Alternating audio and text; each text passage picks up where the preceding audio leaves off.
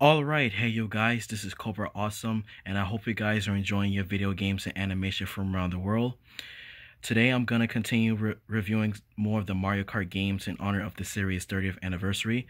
Today I'm going to review the fourth Mario Kart game, and it's called Mario Kart Double Dash. So without wasting any more time, let's get straight into this game review. Now, I already reviewed this game a couple of months ago, but now I'm going in depth, okay? This game came out back in 2003. This game allows you to choose two characters, and from there, you're racing like crazy. Each character has their own special items. But check this out. This is the first Mario Kart game to allow you to choose your kart that you want to race in. Because in the past three games, the only kart they had was the pipe frame and that's it. So in super mario kart 64 and super circuit you weren't able to choose your own kart they only had the the pipe frame was the only kart available. And also this is the first mario kart to have unlockable characters. So we have unlockables like piranha plant and king boo and this game has some awesome colorful graphics. I also love when you drift, when you're drifting, you can see that fire spark coming out of your cart and you just have to say, now that's more like it.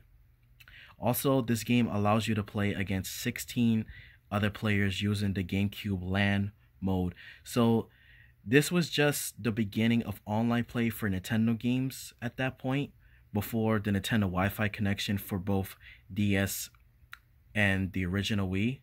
So the LAN mode was was kind of something online. When I first played this game with my brother, we were so hooked on this game. The racetracks are awesome in this game. Like I love Mario Circuit, Yoshi Circuit, Wario Coliseum, and Waluigi's Pinball. And the music is great for this game as well. When this game was first revealed at E3 2001, you can see the Smash Bros. Melee character models of Mario and Luigi driving, and it was called Mario Kart for the Nintendo GameCube. But two years later, at E3 of 2003, it was revealed as Double Dash and it showed the concept of the game. Now, this is a great Mario Kart game, but this game has its problems. So, let's talk about it the cocksucker AI, you heard me, right? The AI in this game is insane. When you're racing on a 150cc or mirror mode, good luck for you because you will get destroyed by the items over and over and over again. Remember I said in the beginning each character has their own special items. For example, Yoshi and Birdo has the egg, Wario and Waluigi has the bob, bob bob. Baby Mario and Baby Luigi has the chain chomp that will run off. The AI will take advantage of using the special items on you. So you basically can't breathe in this game. Seriously. It's annoying, but overall this game is a lot of fun to play. I wish this game had more content just like Mario Kart DS and Mario Kart Wii. And it sold well for the GameCube. So I give this game a 9 out of 10 it's a it's a great mario kart game but i could see that it was liked and disliked by many fans because i'm sure fans prefer like the single cart, you know with one character for each you know for each character has their own cart instead of two characters like driving together. But man um this game was was huge for its time when it had came out. And i just remember seeing the game cover on the figure book um book and uh then i saw the gameplay of the game. But mario kart ds is the first game i played and then i played this game. So this is the second mario kart game i played.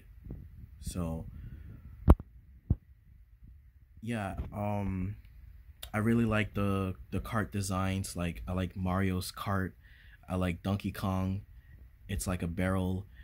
Um, Koopa and Paratroopa cart looks nice. Like the it has like a green shell looking type.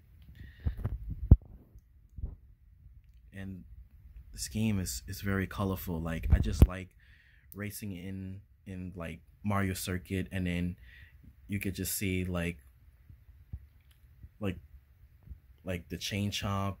You you could see like the piranha plants in the background. You could see a statue of mario like have his hands over his arms like just standing there with a smile on his face. I just really like that. So mario kart double dash is i would say like it's the best looking gamecube game because it's very very colorful you know with its graphics. So that's it. So if you if you enjoyed this game review please be sure to like and subscribe and did you play Mario Kart Double Dash? Is it your favorite Mario Kart game? If so, what's your favorite racetrack? What's your favorite soundtrack from the game? I want to hear all about it. So that's it for this game review. So take care, guys. Bye.